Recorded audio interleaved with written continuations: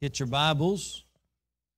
We're going to turn to the Gospel according to Luke once again, chapter 12, beginning in verse 13. The Gospel according to Luke, chapter 12, beginning in verse 13.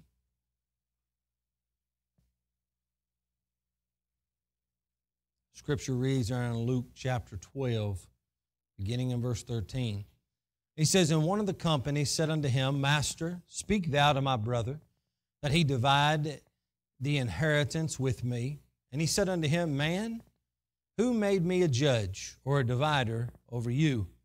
And he said unto them, Take heed and beware of covetousness, for a man's life consisteth not in the abundance of things which he possesseth. And he spake a parable unto them, saying, The ground of a certain rich man brought forth plentifully. And he thought within himself, saying, What shall I do, because I have no room where to bestow my fruits? And he said, This will I do. I will pull down my barns, and I will build greater. And then will I bestow all my fruits and my goods.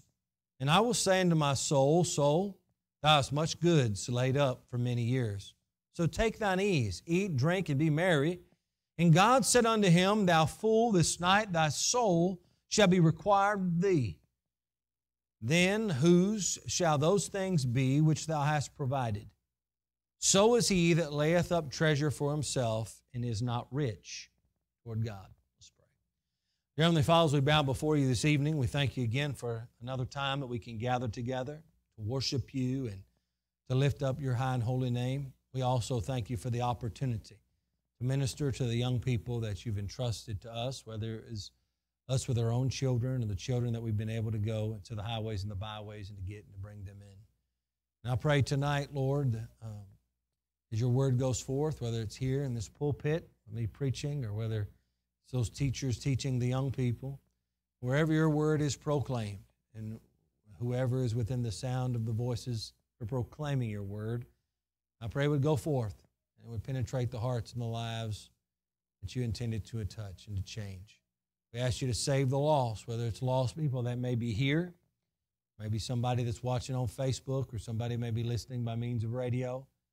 I pray that uh, they're lost and need to be saved, that tonight be the night that they be willing to hear your word and experience the conviction and the drawing of your Holy Spirit, and that they would turn from their sin and repentance and trust in you and be saved. I pray again, as always, Lord, that you would speak to us who's your church, those of us that are saved. And I pray that we would be hearers of your word, receiving what the Spirit of God has to say to us through your word, and that we would receive it and we'd apply it to our lives and we'd allow it to change us. And we would leave here different. We'd live here more like you, that we'd leave here closer to you. We'd leave here on fire for you to be about your business. And Lord, I pray that you would help me to preach tonight, that you'd hide me behind the cross that you give me a fresh anointing of the Holy Spirit and the unction from on high to preach your word. And we'll give you the honor and glory for what you do here at Victory Baptist. As you are high and lifted up, we ask you draw men unto yourself. And we pray these things in Jesus' name. Amen. You may be seated.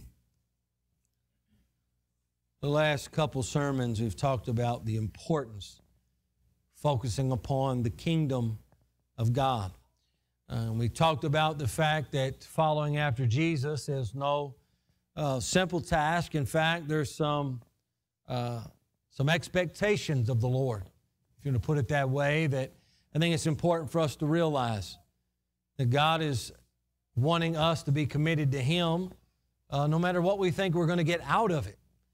I think that it's important for us to realize that we need to be committed to the work of the ministry. That when we trust in Jesus as our own personal Lord and Savior, that that's exactly what we're doing. We're trusting and depending upon His grace to bring about forgiveness in our life, to give us the assurance of heaven as our home when we leave this world.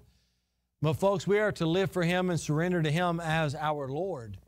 And I believe that He is to be the one in whom is preeminent one in our own personal lives.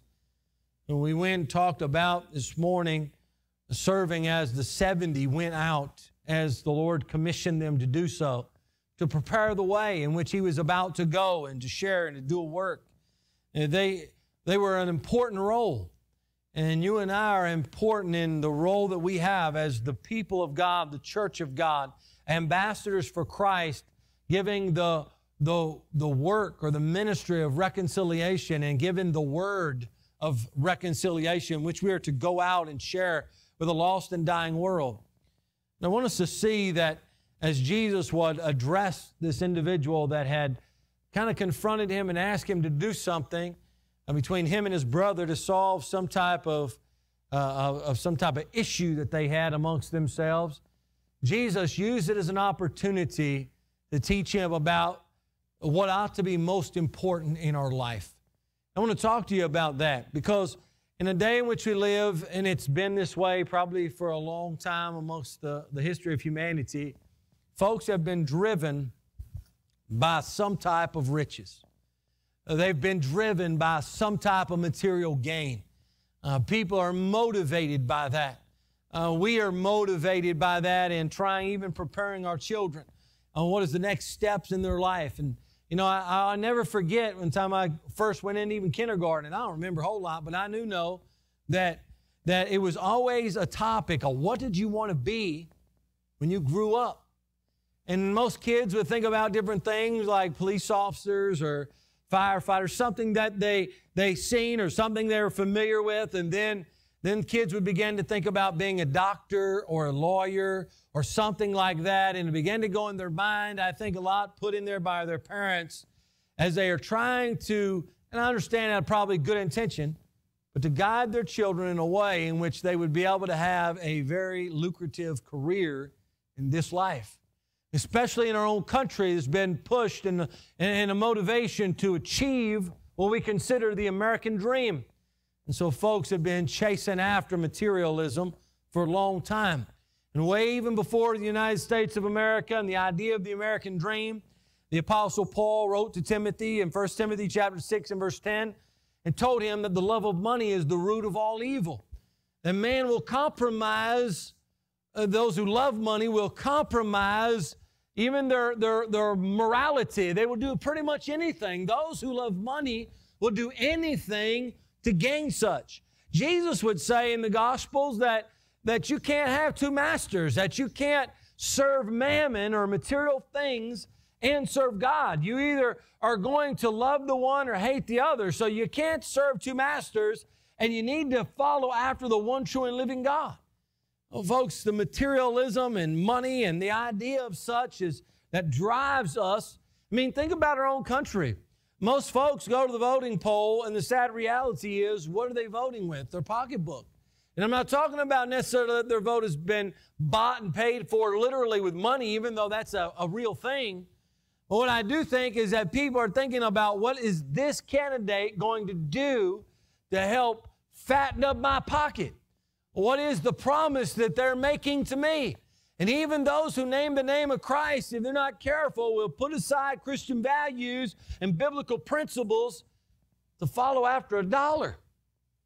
we go about our everyday life, uh, so many times I've seen over the years of being a saved person that Christians have been guilty of compartmentalizing. On Sunday, it's one thing, on Monday, it's a different thing. And the reason for that is, well, I mean, this is my job. This is what I have to do. This is what, you know, I, I don't really have a choice in the matter. But the reality is, folks, when we are chasing a dollar, when we are consumed with all about money, then we will begin to compromise the things of God if we're not careful. And so I want to talk to you a little bit about that as we look here in this passage of Scripture out of the Gospel of Luke, chapter 12, beginning in verse 13. You see a little bit how the parable came about.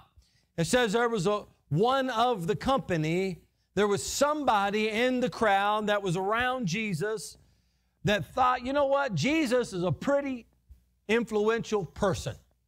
I mean, he gets a pretty big crowd.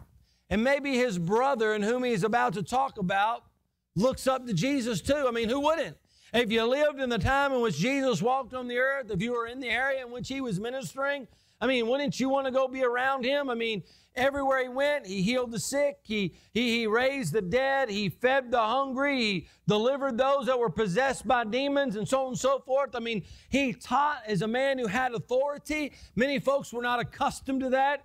He was a man who loved people. He was a man that received the outcast. He was a man that wasn't ashamed to address the rich or the poor, the men or the women. He, he was willing to reach out all, to the children, that he take time to let them come into his lap. You know, we, we find that Jesus was a man that, no doubt, even though his appearance initially wouldn't be that soon somebody would be attracted to, as Isaiah 53 says, we do know that the crowd would come around him. And so here's this individual amongst the crowd. And as he's there amongst the crowd, he comes to Jesus and he says, Master, would you do me a favor?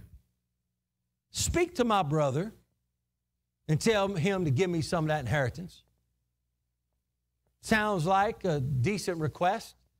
I mean, the man, I don't know exactly the context. Jesus, of course, he's God, he knows all things, but the man doesn't seem to explain the context.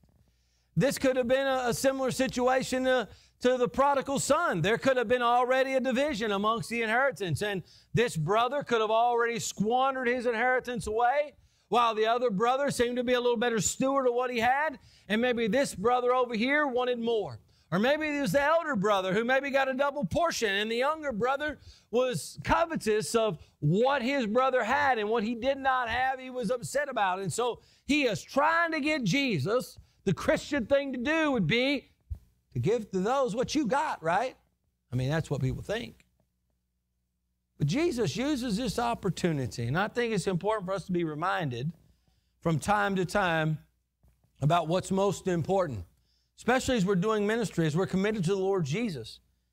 He says this unto him, Man, I kind of like the translation. It's Old English, it's the King James translation, but it sounds like just down to earth type response to me. You know, he says, Man, you know, I could just hear a little bit of inflection in Jesus' voice as he would say, Man, who made me the judge or divider over you two? You know, what are you talking about, man? Why do I have to address that? And he says this Take heed and beware of covetousness, for a man's life consisteth not in the abundance of things in which he possesses.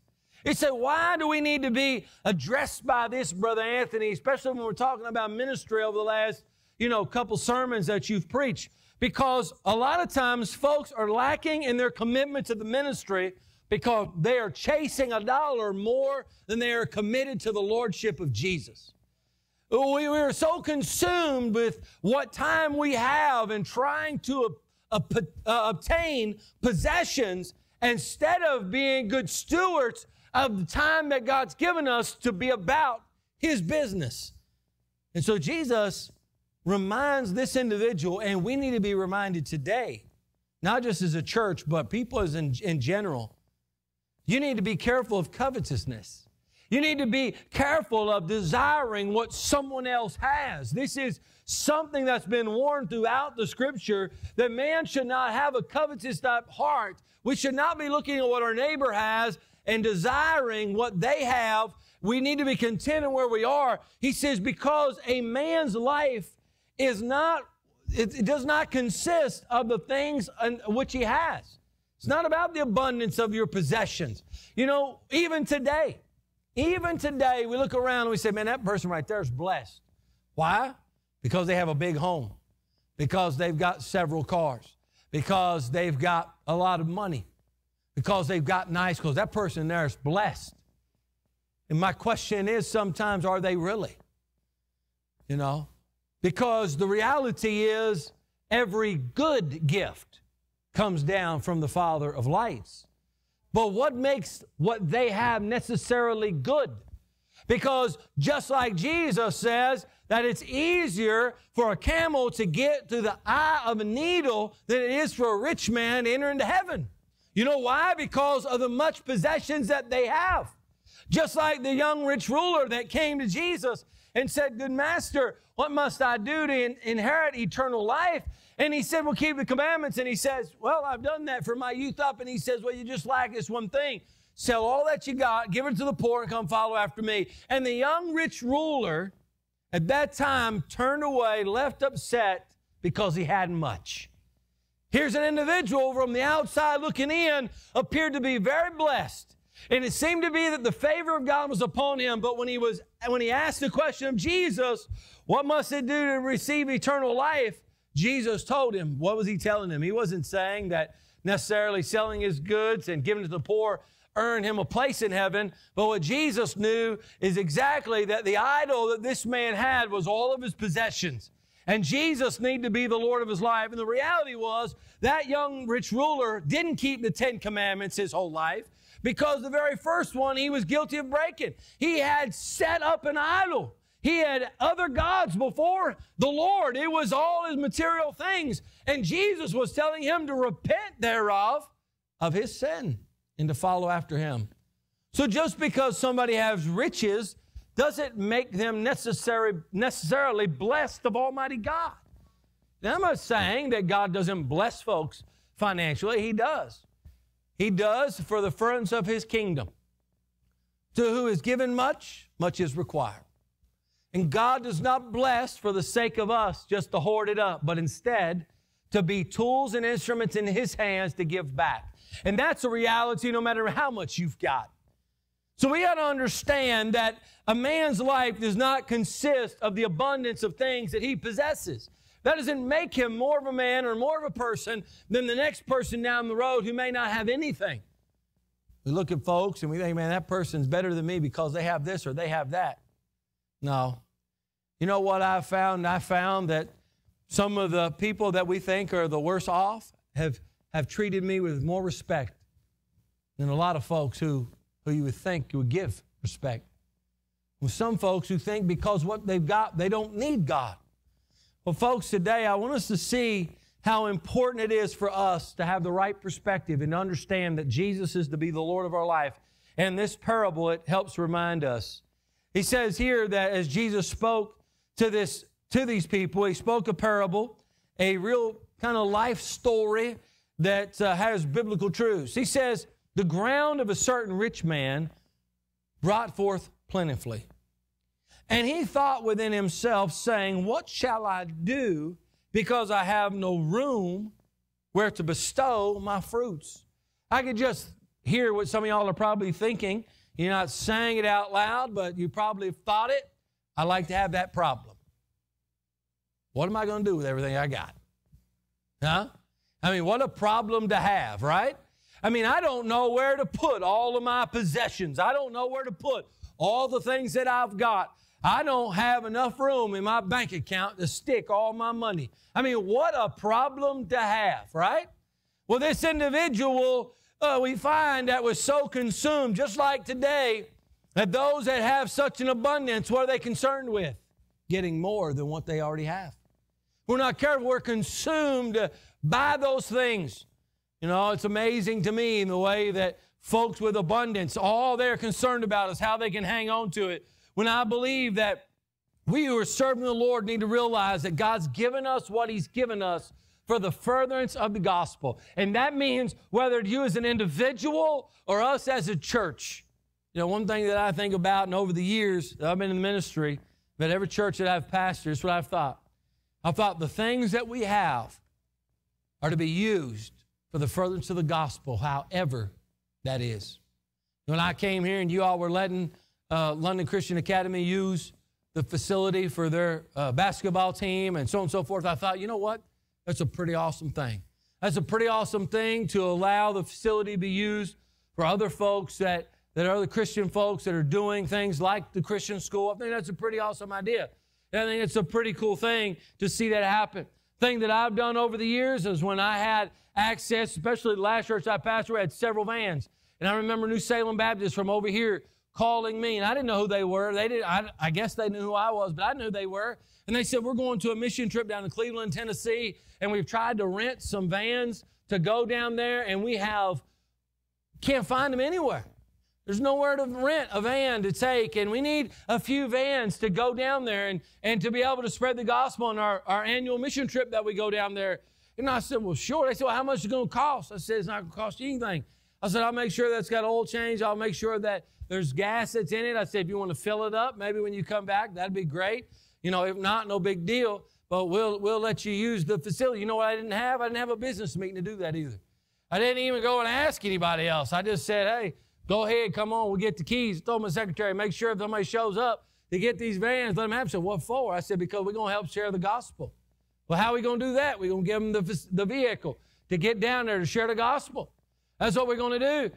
You know, there's been several times over the years that we're going to do missionary things that, that whether we go do it ourselves or whether we help contribute financially, whatever it is, we need to see that the abundance of things in which we have should not consume us in such a way on thinking how we are to keep it or get more or how we're going to preserve it, but instead we need to have the mentality why has God blessed me or blessed us with such, and how can it be used for the furtherance of the gospel, folks? We have to think about that. We have to think on that mindset. We do not have to. We should not have the mindset of the brother that came to Jesus or this man that was in the parable.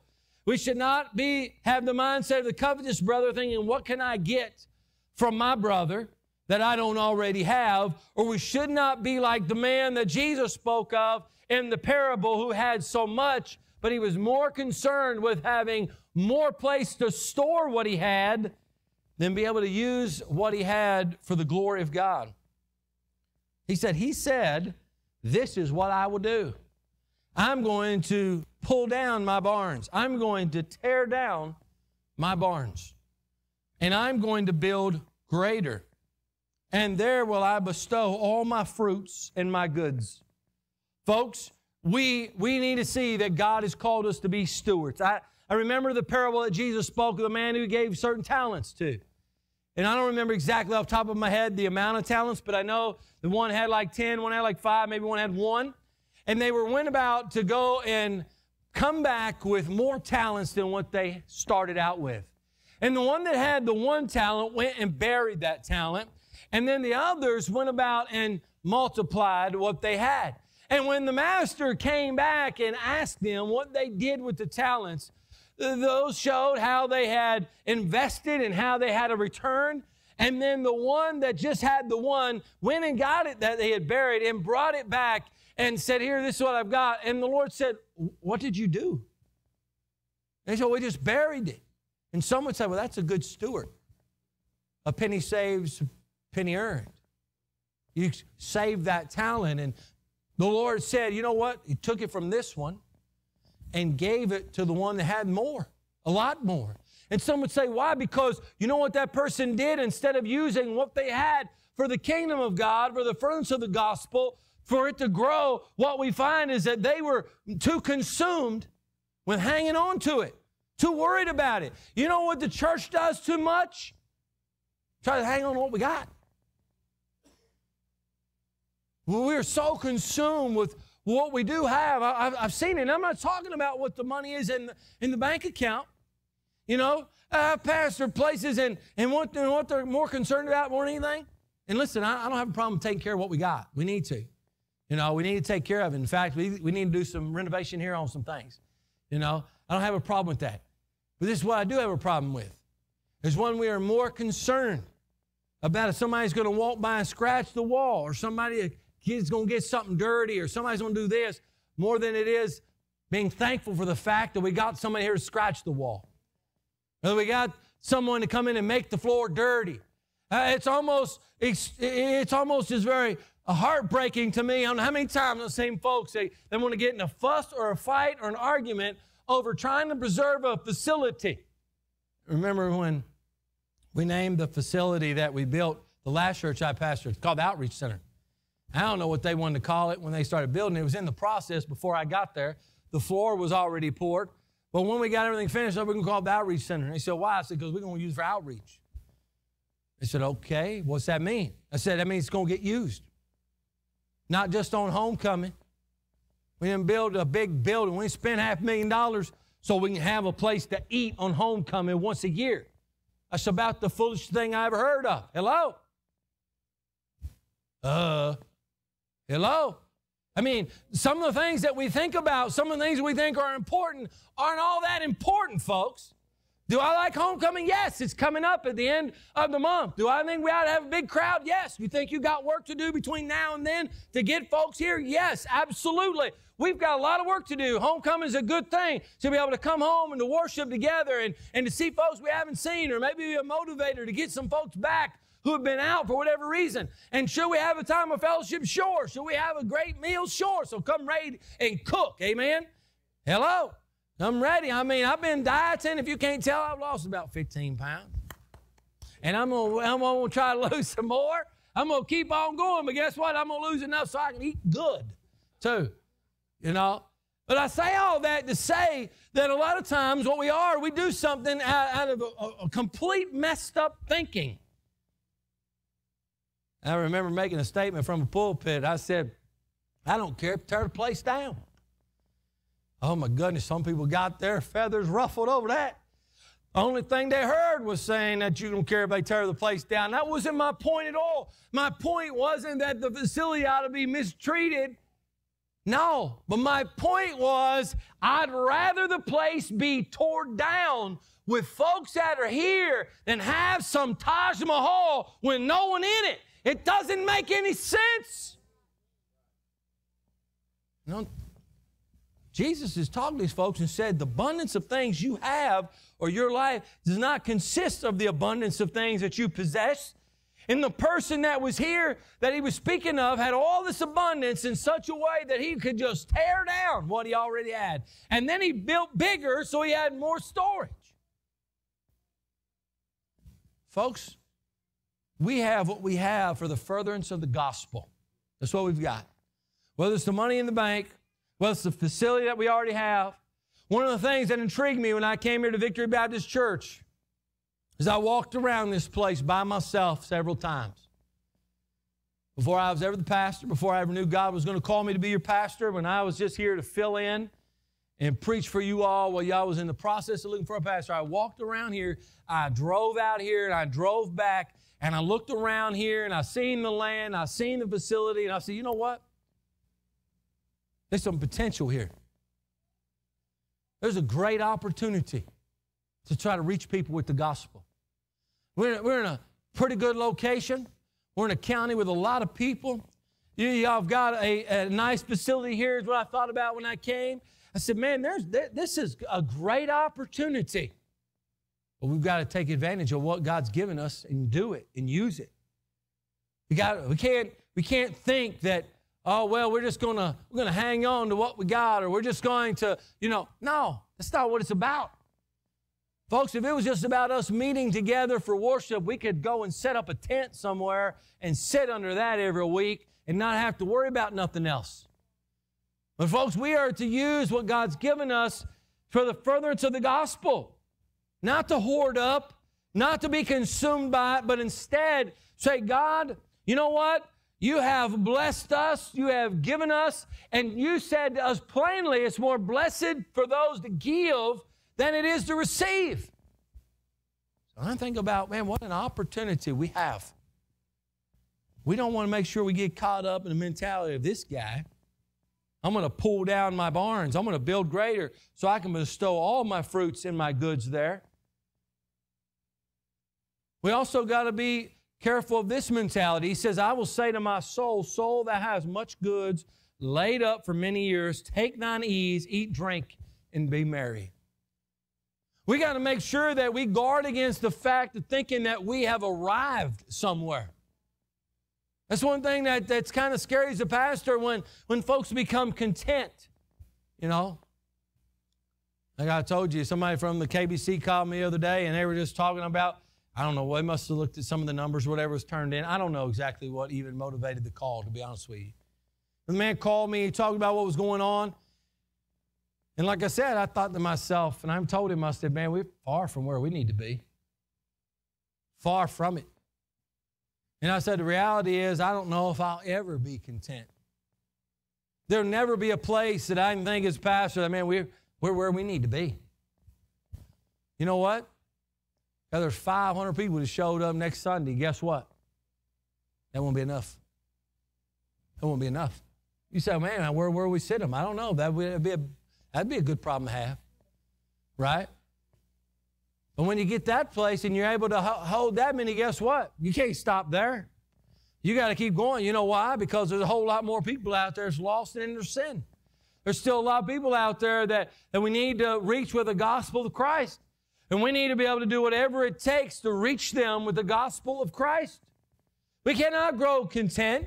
We have to continue to push forward. We cannot say to ourselves, hey, you have much good. You have accomplished much. You have, you're, you're fine where you're at now. Let's just take it easy. Let's eat. Let's drink. Let's be merry. Let's just be content with where we're at.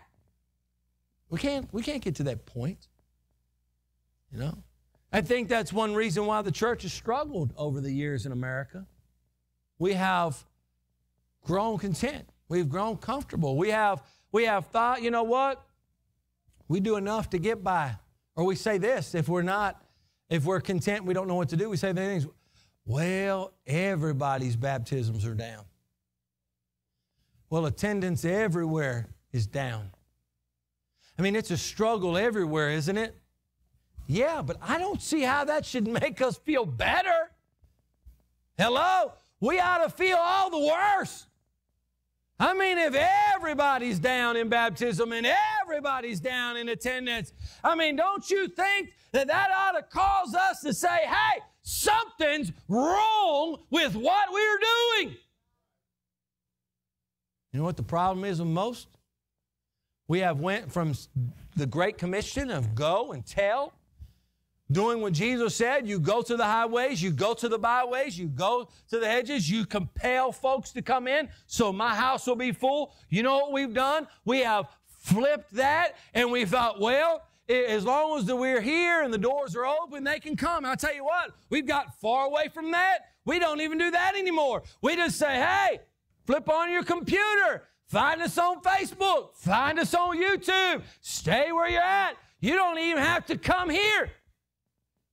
We don't go and tell. We don't even flip the doors and lights on and say, come on in. No. Now it's like, I mean, it's getting easier and easier for us. We've grown more and more content.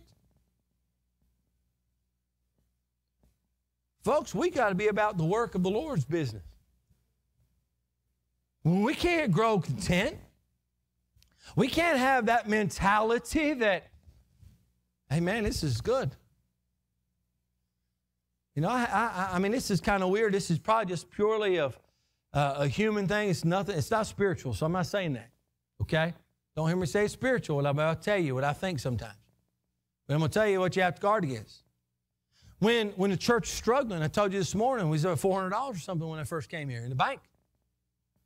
And I remember it wasn't a couple months later, we had a crazy electric bill. We had all kinds of problems going on. This heat was on, that air was on, things was this way and that way, and we didn't know how to use them thermostats. I mean, it's whacked out. I mean, electric bill was outrageous. I mean, we was able to pay the bill, and it was just a miracle that we was able to pay the bill. I remember. You say, man, that's struggling when you start talking about that and preaching about that, and you see people that, that say, hey, you know what? I need to start doing my part. I need to start tithing. I need to start giving like I'm supposed to. And you start seeing that, and you see God bless it. If you're not careful, though, what happens is when you're out of that rut, when you're out of that hole, when you see God move, if you're not careful, all of a sudden people start thinking, I don't have to do as much. No, folks, we have to stay consistent. We need to continue to do what we're supposed to do of giving of our tithes, our offerings, our times, our talents, everything. I'm not just talking about money here, I'm talking about everything that we do. I remember one time some fellow told me, uh, I said, man, you need to come back to Sunday school. He said, well, I've been to Sunday school all my life. I said, what are you talking about? I've been pastoring here for how many years? You ain't been to Sunday school. Oh, I put my time in already. I'm like, what? What are you talking about, man? I was 30 years, and yeah, but you, you're 70 now. So what you done for the last 40 years? I put my time in already. At one time, they used to do them Sunday school pens. If you didn't miss a day, you get a pen at the end of the year. And you had perfect attendance. And man, there's some people, man, they didn't miss a day. And I, I don't have a problem with that. I, I don't have a problem with a little motivation, but they, they didn't miss. And then all of a sudden, when the pens weren't that a big deal anymore, like they dropped off the face, face of the earth. I didn't get my pen, I ain't showing up. Like, well, I guess the pen was what motivated you. You know? Now, folks think they've arrived. They think they've arrived. They think we're not careful. I've been saved for, you know, right now I've been saved for 23 years. This past September 20th was 23 years. It's coming January 3rd. I've been called to preach 23 years. And then I think maybe March or something, I've been pastoring 20 years, something like that, 19 or 20 years. Some of y'all a lot longer than that than me. But is there a time where we say, I'm where I need to be? Is there a time when we say, I put in all the years I need to really worry about? I'll tell you what the mentality is. This retirement, this retirement mentality of America, I'm good with it. You want to quit working? You can quit working? Fine. You can go home and rest and, and not have to worry about a, a secular job and you're able to retire and you can live off what your retirement. That's good. But I'm going to tell you what ain't part of the plan of God. Retiring from His work, folks. It's not. It's amazing. I watched it. I watched it throughout the ministry. I watched folks get older. They decide, man, I'm retiring my secular job. Man, they're gone three, four, five, six months out of the year. It's amazing to me, too. They're gone six months out of the year and they show back up on church six months later like they just right back in where things need to be. I'm like, hold up. Don't come back in here telling me what you think we ought to be doing. You ain't been here six months. Hello? and not even think one bit about it at all. In fact, think they're pretty spiritual about it. No, you ain't retiring from the things of God, folks. That's right. That's why I work Susie death. Huh?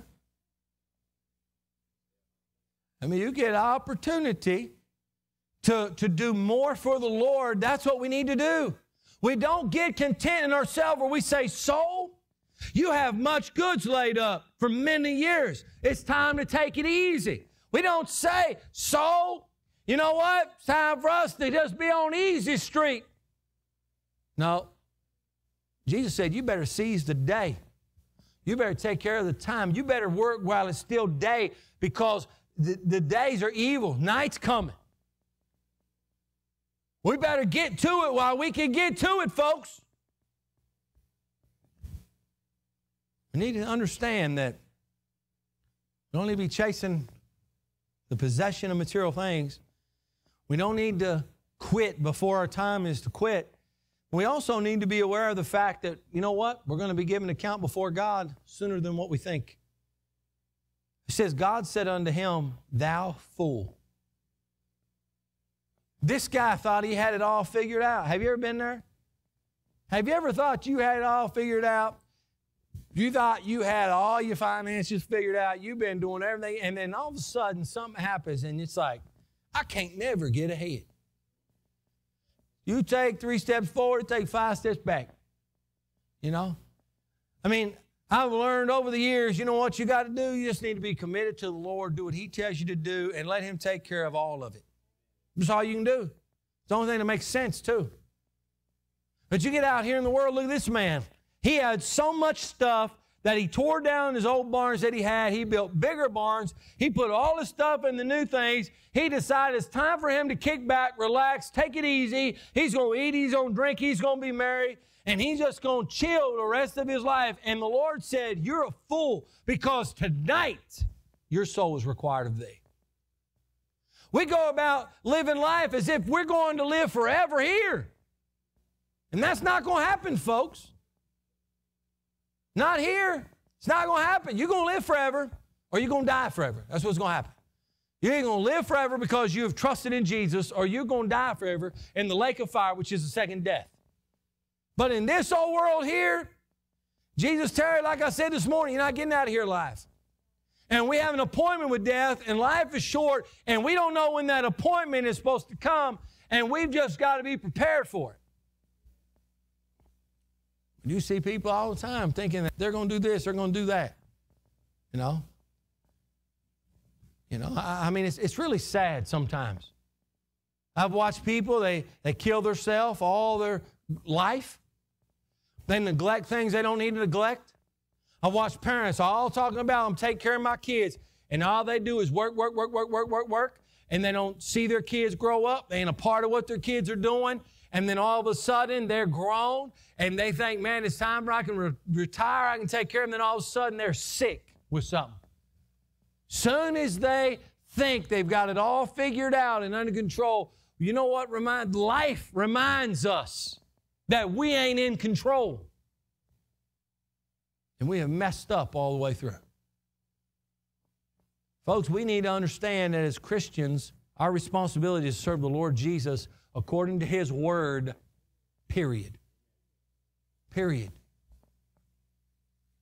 Whatever gifts He's given you, whatever talents He's given you, wherever He's placed you in life, in your secular job, whatever, He has a plan, and all those things correspond with the furtherance of the gospel and how you who are saved are supposed to be his ambassadors. You're supposed to be his mouthpiece. You're supposed to be his ministers. And how that we come together collectively as a spiritual body of Christ to combine our talents, our resources under the head of Jesus, go out here and make a difference. Just like those 70 did.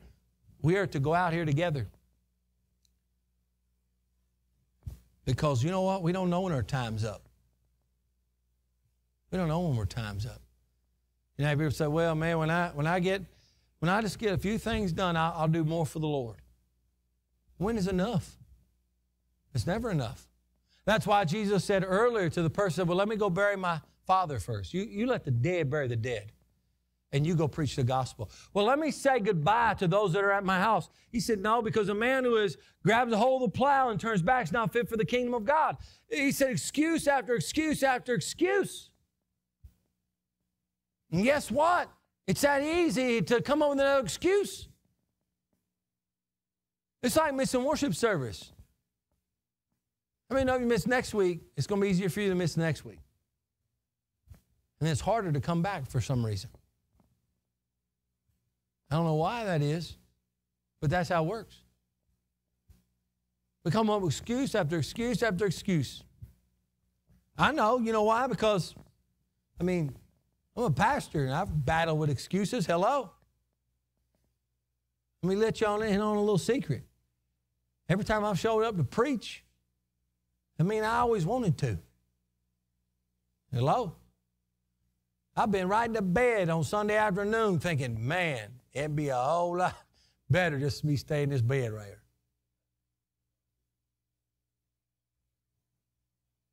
And Lord had reached down there and smacked me like, what? Get up. Get up. You know, get up and get about what you're supposed to be doing.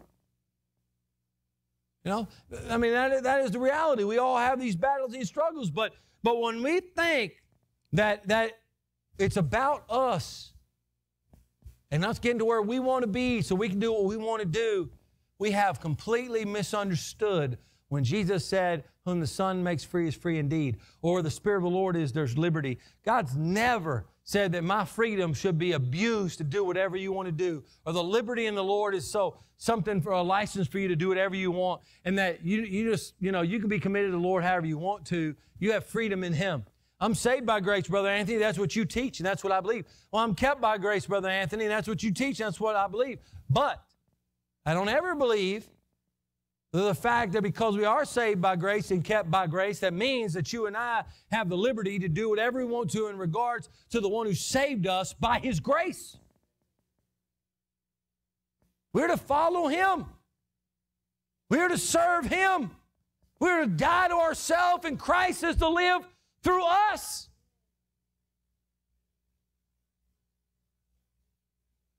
The church has been consumed with especially in America, the American dream. We have set up that idol. And, and if you want to say if there's anything positive about what's going on in our world today, I, I think there's a few things that are positive. And one, I think it lets us know again how frail life is. I think number two, I think it lets us know how quick the things we thought that we were gaining all these years could be gone just like that. And I think it reminds us that, hey, the, the, the freedoms that we have to come and to go and do what we please and to worship when we want, to show up, you know what? That could be taken away just like that too. We better get serious about our, our, our commitment to the Lord Jesus.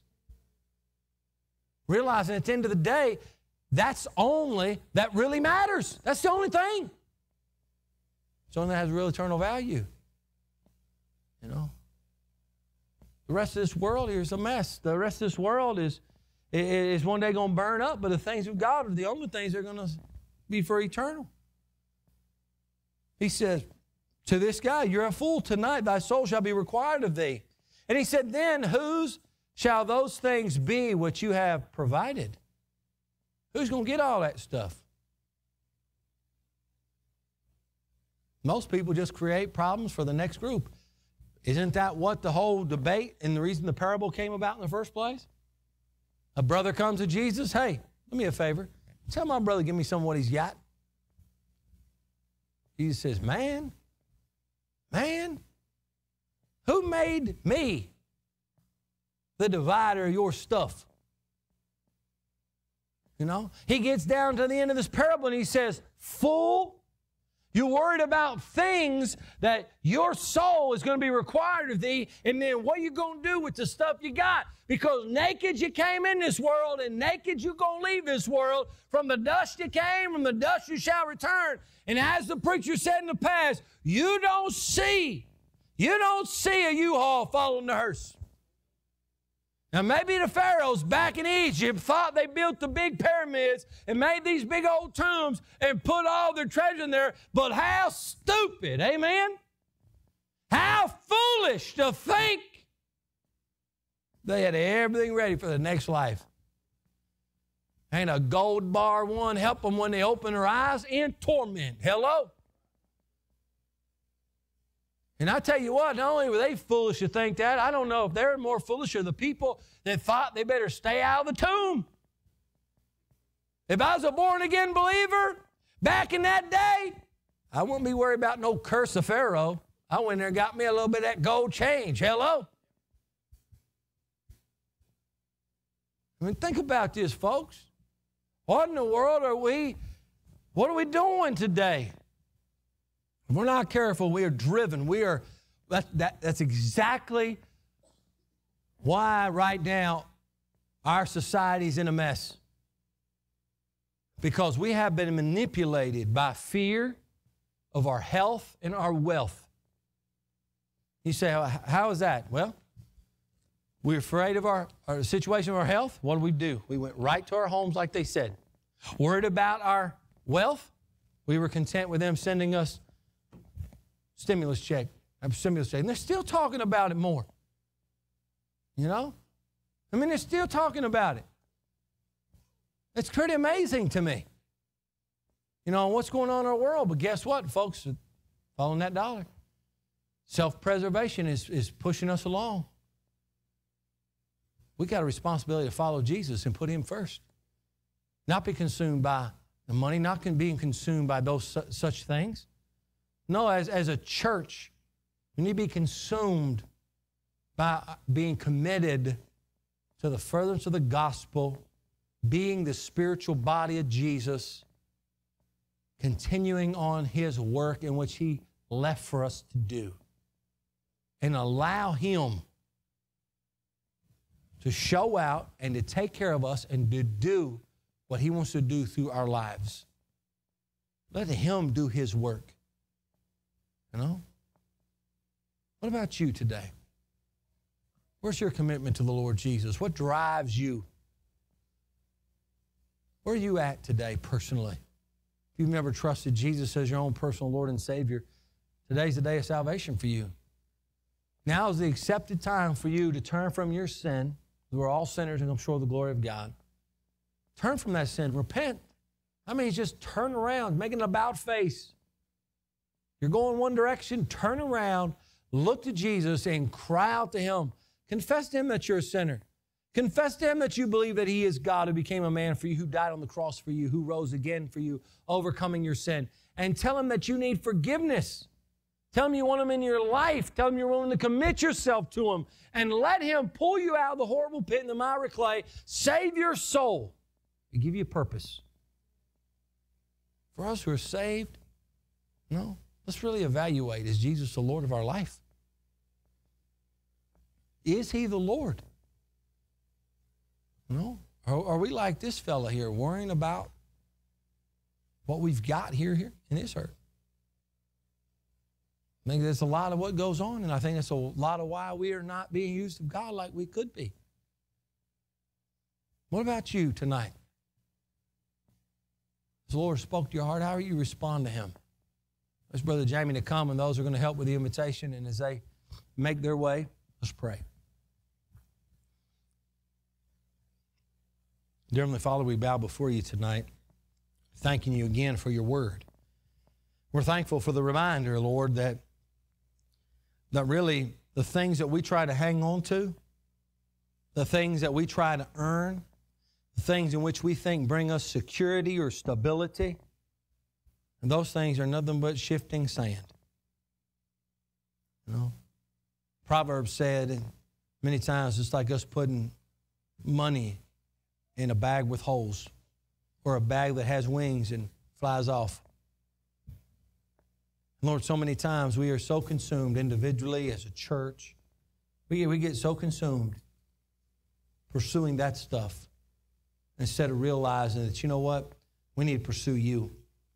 We need to be about your business.